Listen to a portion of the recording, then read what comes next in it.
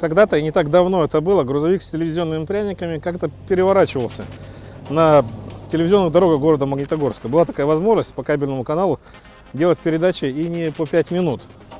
И вот тогда я ставил эксперимент, я показывал, что самые раскрученные бренды в мире, как то Chevron, Эгип и Петроканада, э, ни в чем не уступают другим, чисто российским раскрученным брендам, как то British Petroleum, Mobil и Shell. Вот. Мало того, для сравнения я брал обыкновенный э, лукойловский тестируемый агрегат с той же самой вескостью. Обыкновенную минералку. И вы знаете, шарик в замороженных э, маслах падал ровно с такой же скоростью. Теперь возможность экономить у вас еще и появилась. То есть вы уже поняли, да, что разницы нет. Главное, чтобы была вязкость одинаковая. Экономить вполне реально. При этом качестве не экономия. Как это можно сделать? Очень легко. Можно приехать на вокзал. Вот видите, люди приезжают сюда. Вот. До вокзала доехали, купили там себе в локомотиве, допустим, самое вкусное мяско и поехали э, по направлению движения поезда в Москву. И вот здесь, на пересечении улицы Бехтерева и Вокзальной, сегодня работают специалисты, которые предлагают вам э, широчайший ассортимент масел, возможность за какие-то копейки их поменять, причем заменить все рабочие жидкости. Мало того, завести вашу замороженную машину, отремонтировать, если что, если такая возможность. И все это вы будете делать в абсолютно теплой обстановке. Потому что здесь чистота, уют и комфорт, два подъемника и возможность даже кофе попить на халяву. И вот я полностью соглашусь с авторами передачи «Мужские штучки». О том, что масло менять надо не в гараже, не у дяди Васи, не у дяди Паши, не у дяди Миши. Хотя вот у Миши Циклова порекомендую менять здесь, на Бехтерева 10. Вот в такой обстановке. Сидя на диванчике, наблюдая за то, как таскают вашу ласточку. Кстати, ласточку здесь настроят еще. Андрей Загоскин. Вот сейчас здесь карбюратором занимается. Там масло в работе. А я хочу чисто мужской напиток. Кофе со сливками. Вообще-то кофе со сливками обычно стоит 25 рублей. Здесь для тех, кто меняет масло, кофе абсолютно бесплатно. Вот такой сервис Феникс.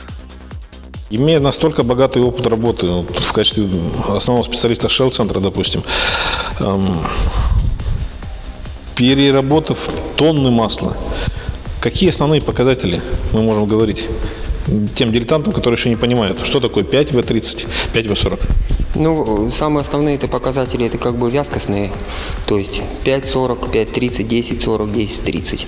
Допустим, зимой нужно лить вязкость, чтобы была не ниже пятерочки. 5,30, 5,40. 5,40 более стабильное масло для всех двигателей подходит, для старых, для новых. Я часто вижу, допустим, такой вариант, что э, продается минералка, которая имеет такую же э, характеристику 5В30. И если, допустим, мы сравнивать будем ее с синтетикой, что получится? Ну, в принципе, минеральное масло 5.30, оно заведется точно так же, как и синтетическое 5.30-5.40. Единственное, что у него качество чуть похуже, присадок поменьше, чем в синтетике. Ну и цена, естественно. Ну, конечно, она на порядок дешевле. Давайте по цене, потому что есть бренды раскрученные, в цену масла, в которых входит реклама, в том числе и с Михаилом Шумахером. Есть бренды, которые раскручиваются, допустим, на Западе. И вот сколько может стоить минералка, сколько может стоить полусинтетика, минимальная ценовая характеристика, и сколько может стоить синтетика. Ну, допустим, синтетика, если продается не оптом, то цена у нее, как правило, меньше 250-270 рублей не должна быть, если синтетика настоящая. Если цена уже ниже, значит там налита не синтетика, а полусинтетика, а то и бывает хуже, иногда льют даже минеральное масло. Ну, полусинтетика. Ну, полусинтетика порядка 180 рублей, 150-180. Ну, минеральное масло идет, скажем так, от 120 рублей, если я имею в виду импортные масла. Естественно, вы работаете с большим количеством представителей. Это и BP, это Петроканада, и Кастрол, и Эджип. Естественно, это Лукойл. Можно ли подобрать человеку подешевле, но с тем же качеством, с теми же хотя бы зимними характеристиками? Ну, зимними характеристиками, конечно, можно подобрать. Просто, допустим, на качественных маслах на Шевроне, там, на Кастроле, вот, можно ездить, там, допустим, 10 тысяч, то на Лукойле, на таком же масле, ну, тысяч семь, не больше, как бы, вот. подобрать можно без проблем.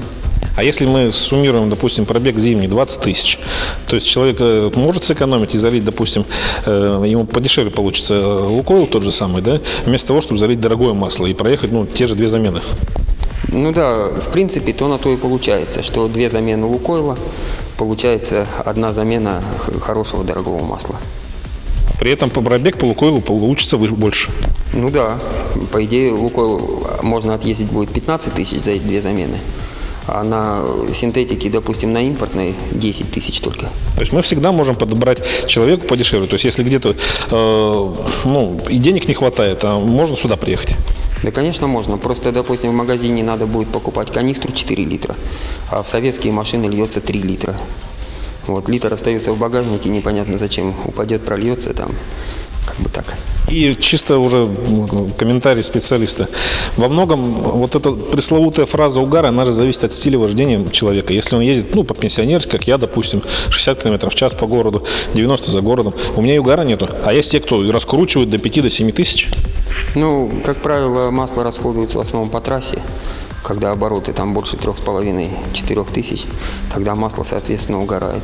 И масло, еще расход масла зависит от скажем так, минимум-максимум есть на щупе. Если масло падает меньше серединки, расход масла увеличивается. Что люди умеют делать в основном на сервисах, да, и что не умеют? Я сто процентов гарантирую, что люди не все умеют э, менять ремни ГРМ. Я на 200 процентов уверен, что ни одна девушка не сможет поменять свечки. Это такие вещи, которые делать необходимо же. Ну, это естественно, конечно.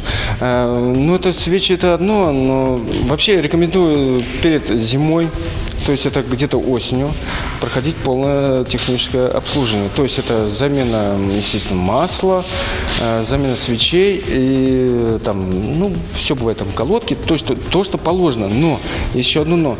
Э, люди, почему э, всегда приезжают в машину, когда сломается? Они не очень понимают, что надо машину вовремя обслуживать. Все очень просто. Надо обслуживать машину вовремя. То есть все это делать ну вот доходит, скажем так, русская пословица, пока петух не крикнет. Тогда русский человек. То есть все те, кто не заводились, э, вот в эти морозы замечательные, это что? Это и свечки, и недостаточная зарядка батареи аккумуляторной. Да. Э, в данном случае, да. То есть э, люди, которые, ну, скажем так, автолюбители, они вовремя просто свою машину не смотрят. Вот и все. Это касается любых иномарок. Неважно, какая Мерседес. Ни в коем случае не надо думать, что любая машина э, какая-то там супер намороченная, не ломается. По моему опыту, любая машина может сломаться. Поэтому надо всегда машину вовремя обслуживать. И это будет проще и дешевле. Давайте дивный совет дадим. Если на морозе человек не завелся, то есть э, что случилось в первую очередь? Ну, в первую очередь, э, что случилось, это, ну, конечно, качество бензина, это раз. Во-вторых, если машина не завелась, ну, естественно, аккумулятор. То есть я не буду сейчас э, рассказывать такие нюансы, это можно будет потом все найти на сайте. Ну и банальный вариант. Машина крутит, стартер вращает, машина не заводится, свечки залили. Через сколько мы сможем здесь, в теплом помещении, завести эту машину? Э, ну, в таком хорошем помещении, в теплом, хорошем помещении можно завести, ну, буквально минут, ну, 15 максимум. То есть, если машина на механочке, это на гусак и сюда, если на автомате, это на эвакуатор и сюда? Да, конечно, конечно, конечно. Завести можно легко, абсолютно. То есть есть э, определенные методы, э, чтобы завести машину, но при одном условии, что э, человек, который, у которого встала машина, то есть если он не запустил машину. Вот только при этом случае. Если она ездила нормально, все, и только встала при морозе, то есть утром пришел, не завел, это завести без проблем. Но если он ездил где-то, может у него ремень порвался на ходу, может быть, э, если у короб, коробка автомат, может коробка автомат.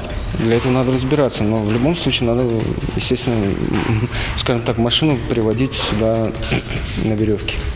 Можно ее продиагностировать и, в принципе, потом уже рекомендовать ту или иную процедуру. Да, конечно, конечно. И меня вот что беспокоит. Есть такая проблема, что вот э, есть интернет, да, и есть дурные советы. Можно ли сделать в в Магнитогорске умный интернет-ресурс? Да, в ближайшем будущем э, создается сайт. Он в ближайшем будущем, я надеюсь, что еще раз с вами свидимся, в ближайшем будущем будет создан сайт для Магнитогорска, где будут э, бесплатные советы, э, значит, рекомендации бесплатные. Э, Если как для автолюбителей, так и для профессионалов будет создан сайт на ближайшее будущее. Если ко мне часто обращаются, э, значит, э, найти такую-то информацию, такую-то информацию, там будет все выложено.